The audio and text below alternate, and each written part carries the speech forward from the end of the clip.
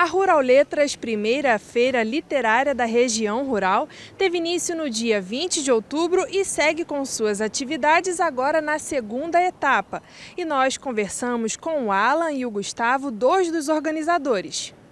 A Rural Letras é, tem como principal objetivo levar a literatura e as artes no geral, né, que vão estar presentes na feira, para as regiões rurais né, da, da cidade de Teresópolis.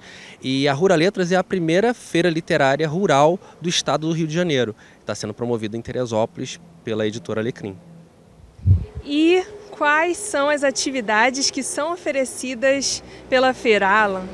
Então, é, teremos contação de história, com o grupo Saborá de Histórias, música e oficinas de arte e cultura.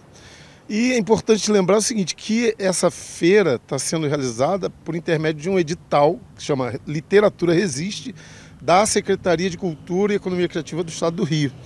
Então nós participamos do edital, é, foi para o estado do Rio inteiro, né? E nós fomos contemplados, se não me engano, em sétimo lugar. 92 municípios do estado do Rio, né? Nós fomos os sétimo colocados e pudemos realizar essa feira aqui em Teresópolis. Agora, um dos objetivos da feira é criar uma biblioteca comunitária, é isso mesmo? Para que os moradores possam continuar desfrutando da literatura? Isso mesmo. É, em todos os, nos dois locais onde, vai, onde a gente está promovendo a, a Rural Letras, vão ser, no final dos, das etapas, vai ser doado né, é, livros para a construção de uma, de, uma, de uma biblioteca comunitária nas localidades, né, Motas e Santa Rita.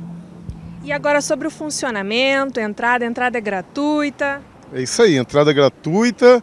É, temos a colaboração muito importante das escolas das localidades, né, que nós visitamos antes, convidando essas escolas através da diretoria e os alunos, os professores, os funcionários, todos eles já vão participar automaticamente como parceiros.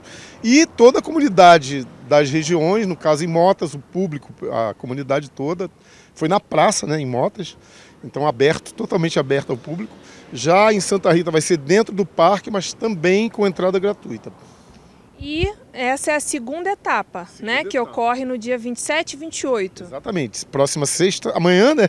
Sexta e sábado, 27 e 28 Agora, não sei se é muito cedo perguntar, já tem projeto para continuidade? Olha, projeto na mente, ele, quando a gente idealiza um projeto, a gente sempre tem a expectativa de dar continuidade e, e, de que o projeto cresça. Essa é a nossa intenção.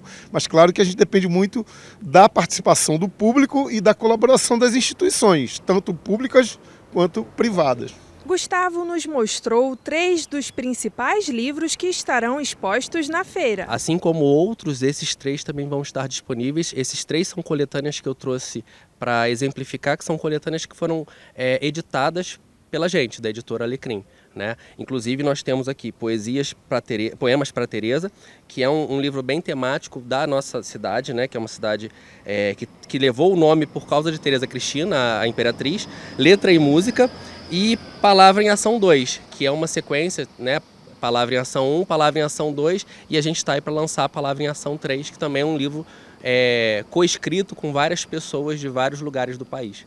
Isso ressalta a importância né, de levar a literatura para as pessoas que moram mais afastadas do centro da cidade. Sem dúvida. A principal intenção da Rura Letras é levar as artes e principalmente a literatura, que na minha concepção e na concepção de várias pessoas, é o, o, o berço de, de todas as artes. Porque para você fazer um filme, para você fazer um teatro, uma peça teatral, qualquer coisa, você precisa de um texto e precisa de uma, da literatura é, atuando né, inicialmente.